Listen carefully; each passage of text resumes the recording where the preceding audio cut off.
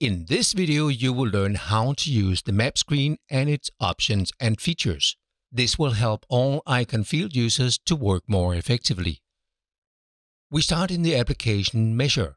We see the map screen with the measure bar and the navigation bar. The top bar includes the status bar and information bar. The bottom bar includes the function bar and map handler. Let us start with the status bar. Left section called Application Key shows which application is in use and which project, job, and coordinate system are active. Middle section called Status 1 shows the status of the connected device.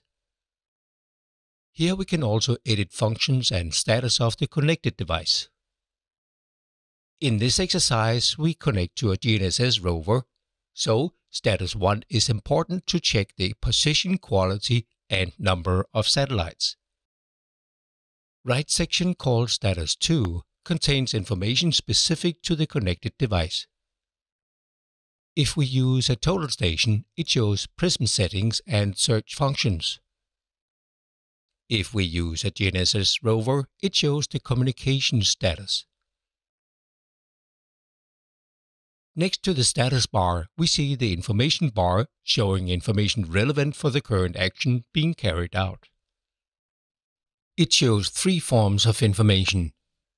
Text guidance for the next steps while you carry out functions, values of the actual measurement, guidance text and arrow leading you while taking out an element.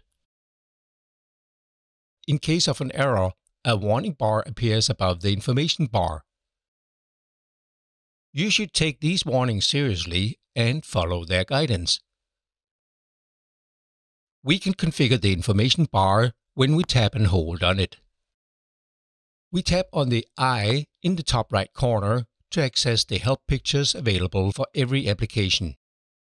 These pictures explain all values configurable for the information bar depending on application and connected device. We jump to the bottom bar and start from the right. The five buttons in light gray comprise the map handler. From right to left, we first see the Map View Manager. Here we can choose which data we see on the map by turning on or off files or specific layers of files. Next we have buttons to zoom in and out. Both buttons have additional functionality. Tap and hold on Zoom In activates the Smart Zoom mode. When active, tapping on the map will zoom in on the tapped position. Tap and hold on Zoom Out to display the full extent of the active data. The second button from the left opens the View panel, which provides helpful tools for the map view, like Multi-View Config, Viewing Options, or Quick Codes. The leftmost button navigates to the point list and point search of the current active job. The other part of the bottom bar is the function bar. This includes the Favorites button, which can be a shortcut to Setup, to the camera, and to the calculator. We can also add functions from the Measure bar to the Favorites button.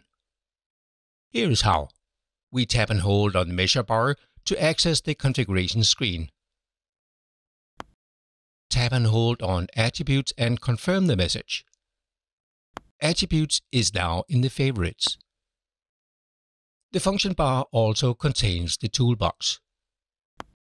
Here you find all the tools we need to work within an application. Most of the tools are application specific, but some tools are common. Leftmost button is the Home button which exits the application and brings us back to the home menu. Finally, let us have a look at the map and its functions. The main part is the measure bar. It is predefined for every application and some tools, but we can configure it to meet our specific needs. The measure bar can provide up to three different functions while we are measuring. The top left corner holds the navigation bar. It includes the scale bar showing the current map zoom level and the north arrow for orientation. we can move the map view in pan or rotate mode.